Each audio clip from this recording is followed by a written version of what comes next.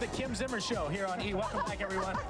We're outside Madison Square Garden getting set for the 26th Annual Daytime Emmy Awards. Todd Newton and Mimi Torchin, not necessarily in that order. And Kim Right here. Zimmer You're right such a there. lucky woman. I- Look the way he just I kind of was puts just- his arm around. I was just going to say I was a lucky woman, but it was because I get to know people like Guiding Lights, Kim Oh, Zimmer. well. You know, I, Kim, I make no bones about it. I am a big fan of yours, and there she is. How about on this our picture right cover. here? Isn't that Could we see a little more gum? Hey, there you go. Art, life imitates art.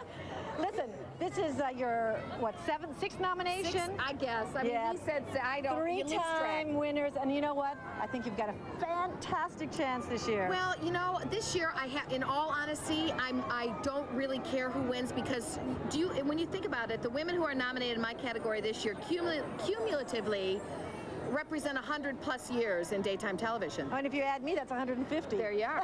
You know, I mean, oh my seriously. God! No, it's really amazing, and uh, that scene that you did, where the clone talks Through to the door. through the door, was one of the the most My only my only tough thing about picking my reel this year was that every time I looked at it, I said, "This is Robert Newman's scene." Yeah, well, not that one though. That one was Kim Zimmer's scene, and it was amazing. It was a very controversial. Oh, there you have it. Anyway, good luck. Thank you, Mimi. And Thanks, um, Todd. Bye, sweetie. Just keep it up, Thank you. Girl. Thank you for paying so much attention to our show. We well, really the show is appreciate great. it. You know, I'm a big fan. Thank you. and I'll see you next year for our, what, eighth anniversary? story, the clone story. Exactly. But it gave you some really meaty, fabulous Yes, stuff to did. play. And nobody plays meat like Kim Zimmer.